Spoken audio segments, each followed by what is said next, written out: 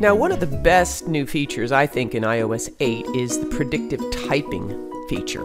So we're going to go right into Notes, the Notes app, and we're going to open that up, and we're going to open up a new note. Remember how to do that.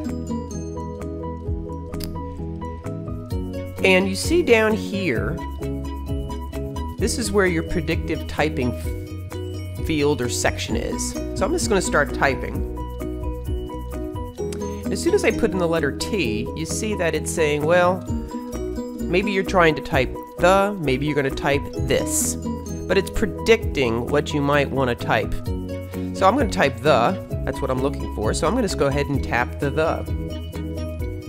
Puts the word in for me. Now it also is predicting what I might be typing next. Now that's based on the fact that the more I type, the more it understands how I type, and it is going to predict what it thinks I want to type. Now that's obviously not always going to be true.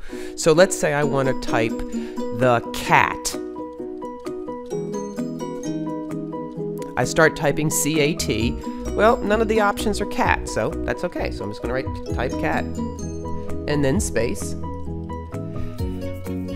Now, it knows the words that are probably going to come after that. So I'm going to say the cat is. So I can just type cat is. And now it came up with some other options. But I'm just going to put black.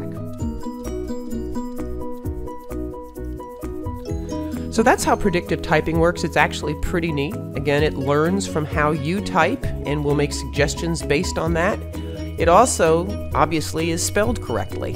So when you type or tap on the predictive word, it's going to be spelled correctly and you know that. So I would take advantage of it, use it.